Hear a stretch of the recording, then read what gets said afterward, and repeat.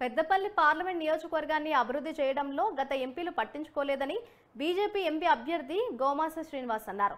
కుటుంబ పాలన కొనసాగడం వల్లనే అభివృద్ధి లేదని అభివృద్ధి పేరుతో కోట్లు దండుకున్నారని ఆయన ఆరోపించారు.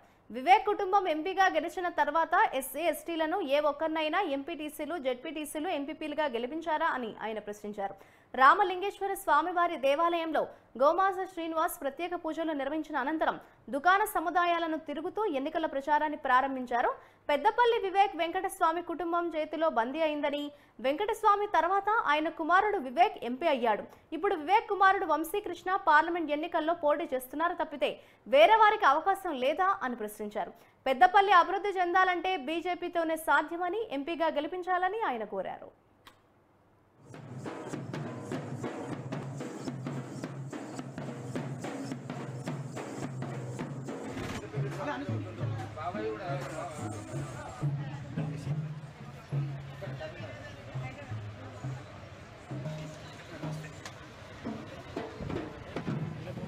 అక్కడ మనకు బాగా దగ్గర అయిపోయాడు.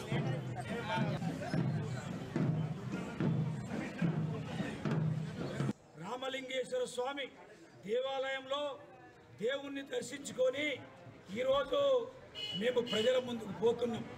న్యాయాన్ని అనుపరించి అనుసరించి గౌరవనీయులు పెద్దలు దేశ ప్రధాని నరేంద్ర మోదీ గారు ఏదైతే ఎన్నికలని పండుగ వాతావరణం జరుపుకోవాలని చెప్పిండో ఈ పండుగ వాతావరణంలో ఈరోజు మేము పెద్దపల్లిలో ఎన్నికల ప్ర- ప్రచారాన్ని ప్రారంభించడం జరిగింది మిత్రులారా.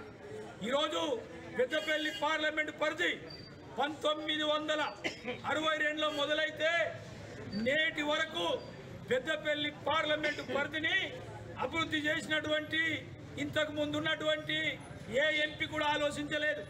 దానికి నిదర్శనమే ఇలా పెద్దపల్లి పార్లమెంట్ అభివృద్ధి చేయలేనటువంటి ఒకే ఒక కుటుంబము ఇక్కడ రాజరికం చేస్తున్నది. అంటే మిత్రులారా మీరు ఆలోచించండి. ప్రజాస్వామ్యక స్వతంత్ర భారతదేశంలో పెద్దపల్లి పార్లమెంటు వివేక్ వెంకటస్వామి కుటుంబం చేతిలో బంద్ అయింది. ఇక్కడ రాజరికం నడుస్తు- నడుస్తున్నది. కుటుంబ పాలన నడుస్తున్నది. వెంకటస్వామి దిగినాక వినోద్ రావడం జరిగింది. వినోద్ దిగుతూ వివేక్ రావడం జరిగింది. వివేక్ దిగుతూ మళ్ళీ ఆయన కుమారుడైనటువంటి చిన్న పిల్లోడు అమూల్ బేబీ లాంటి పిల్లోడు అతని పేరు వంశీకృష్ణ. అతడు వచ్చిండు నేను అడుగుతున్నా ఇలా వంశీకృష్ణ నీ తండ్రితోనే యుద్ధం చేయడానికి రెడీ రామలింగేశ్వర స్వామి దేవాలయంలో దేవుణ్ణి దర్శించుకొని ఈరోజు మేము ప్రజల ముందుకు పోతున్నాం. న్యాయాన్ని అనుపరించి అనుసరించి గౌరవనీయులు పెద్దలు దేశ ప్రధాని నరేంద్ర మోదీ గారు